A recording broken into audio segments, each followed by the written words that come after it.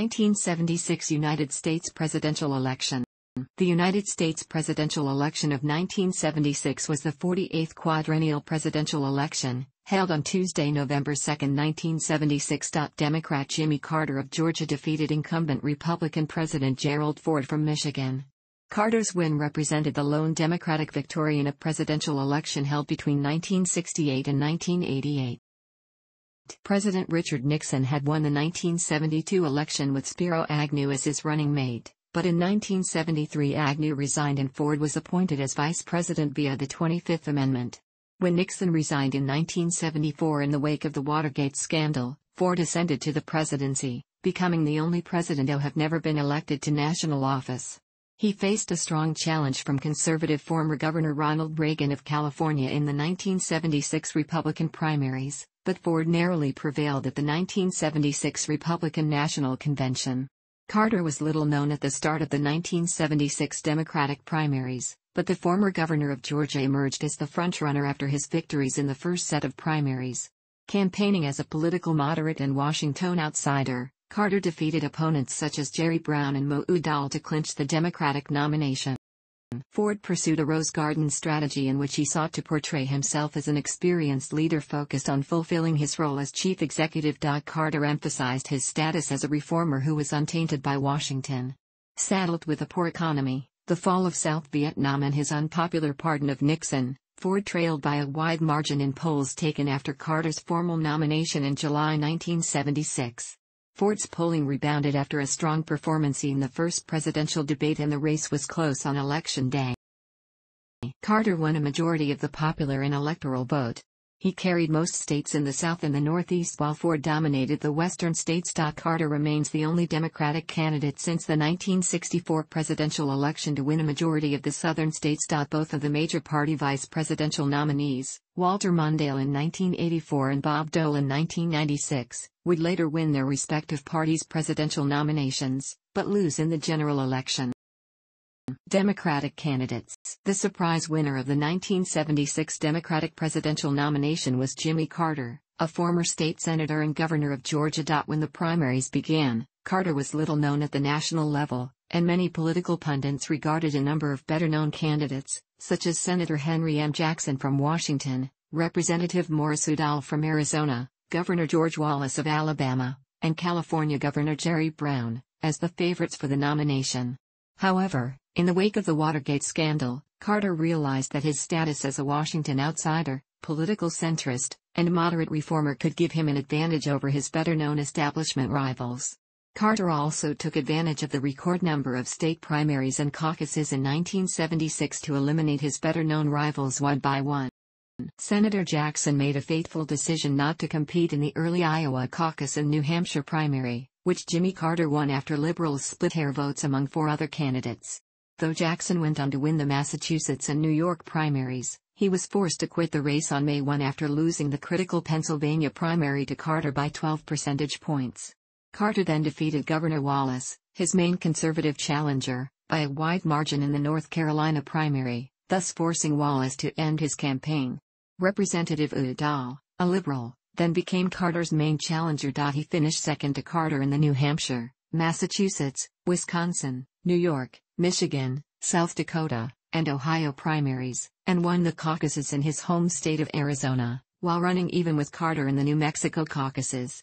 However, the fact that Udall finished second to Carter in most of these races meant that Carter steadily accumulated more delegates for the nomination than he did. As Carter closed in on the nomination, an ABC movement started among Northern and Western liberal Democrats who worried that Carter's Southern upbringing would make him too conservative for the Democratic Party.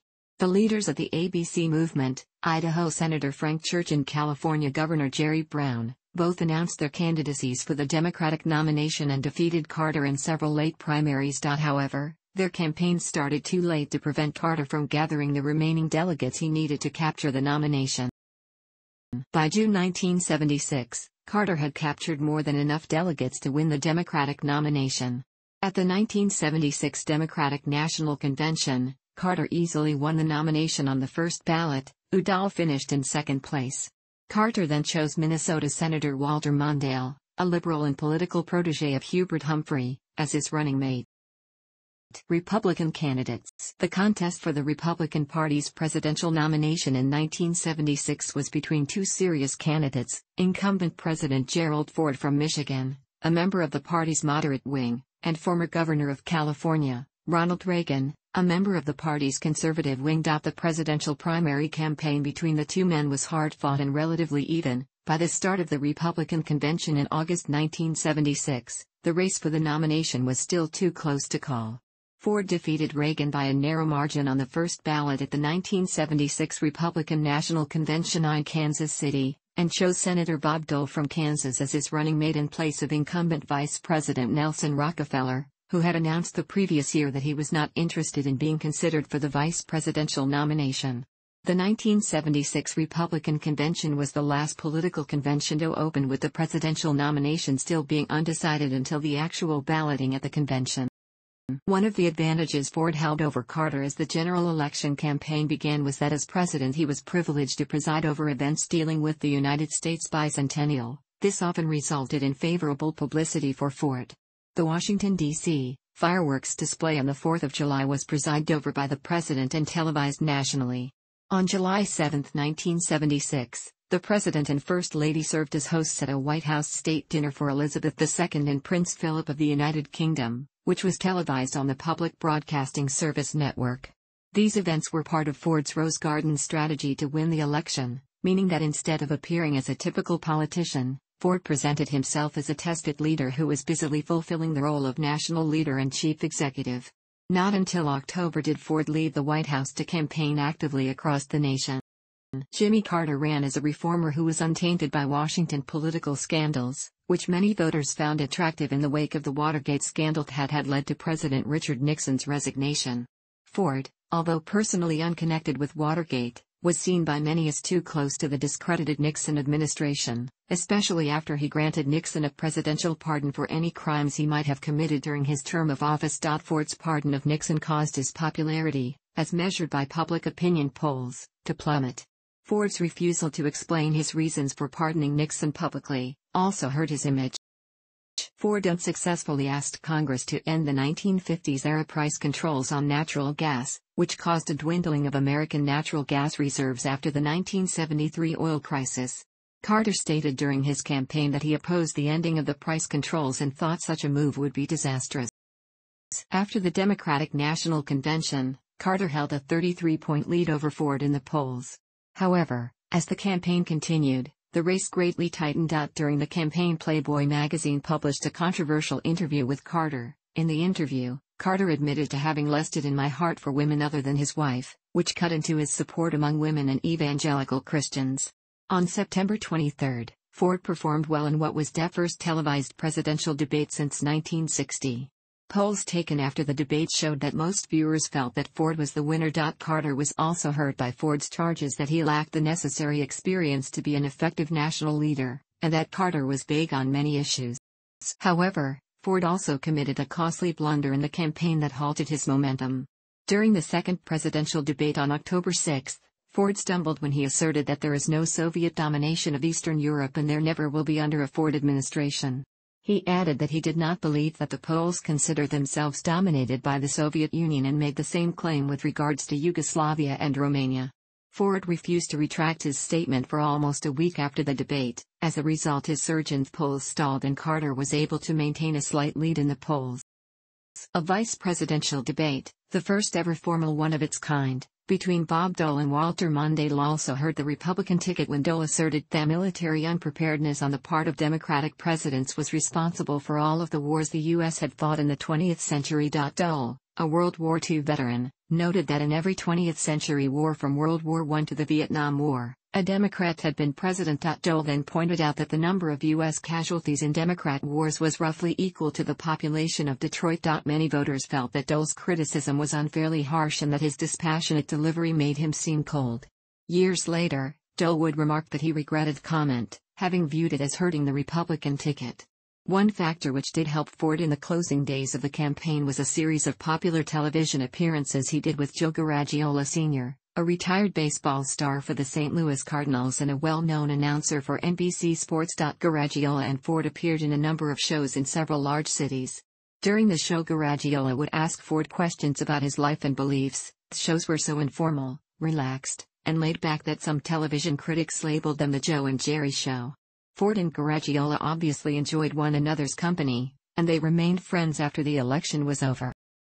Despite his campaign splendors, Ford managed to close the remaining gap in the polls and by election day, the race was judged to be even. It took most of that night and the following morning to determine the winner. It was not until 3:30 a.m. that the NBC television network was able to declare that Carter had carried Mississippi and had thus accumulated more than the 270 electoral votes needed to win.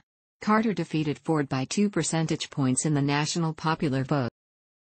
The electoral vote was the closest since 1916. Carter carried 23 states with 297 electoral votes, while Ford won 27 states with 240 electoral votes. Carter's victory came primarily from his near sweep of the South and his narrow victories in large northern states, such as New York, Ohio, and Pennsylvania. Ford did well in the West, carrying every state in that region except for Hawaii. The most tightly contested state in the election was Oregon. Ford won that state by under 2,000 votes. A switch of 3,687 votes in Hawaii and 5,559 votes in Ohio from Carter to Ford would have resulted in Ford winning the election with 270 electoral votes. By percentage of the vote, the states that secured Carter's victory were Wisconsin and Ohio. Had Ford won these states and all other states he carried, he would have won the presidency. The 27 states he won were and still are the most states ever carried by a losing candidate for president. Had Ford won the election, the provisions of the 22nd Amendment would have disqualified him from running in 1980. Ash served more than two years of Nixon's second term.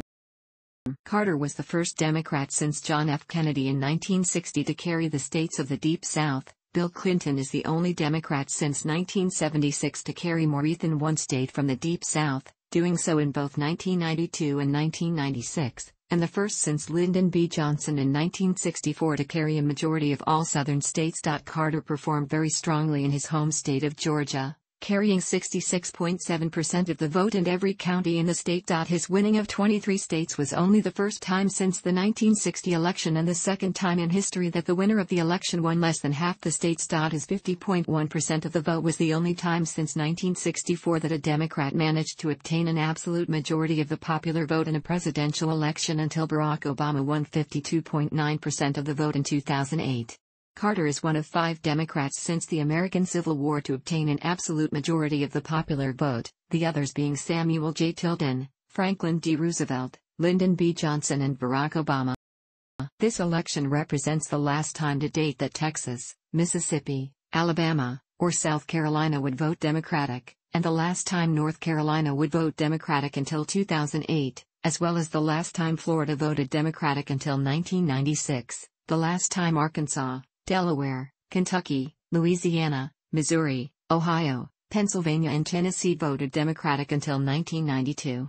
It is also the last time in which Shasta, Yuba, Placer, El Dorado, and Madera counties in California, Brazoria, Williamson and McLennan counties in Texas, Madison County in Alabama, Duval and Brevard counties in Florida, Warren County, Kentucky and St. Mary's County, Maryland would vote Democratic.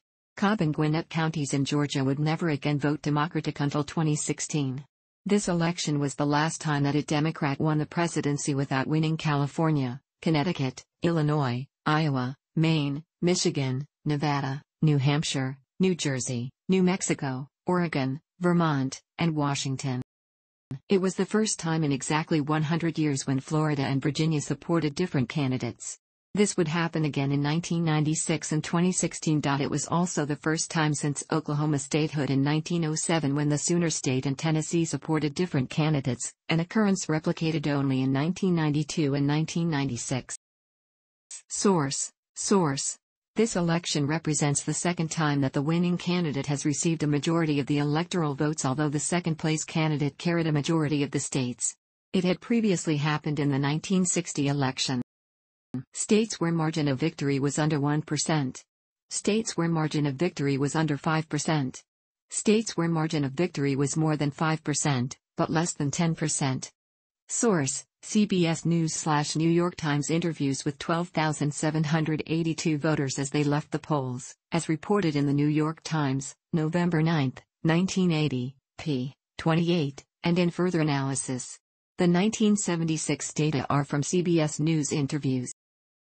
It was also the first election that New Mexico did not back the winning candidate and the last time until 2000 and the only election that New Mexico did not back the winner of national popular vote since it had achieved statehood in 1912. In 2000 and 2016, the national popular vote winner eventually lost the electoral vote and thus the presidency. Thanks for watching. Don't forget like the video and don't forget to subscribe.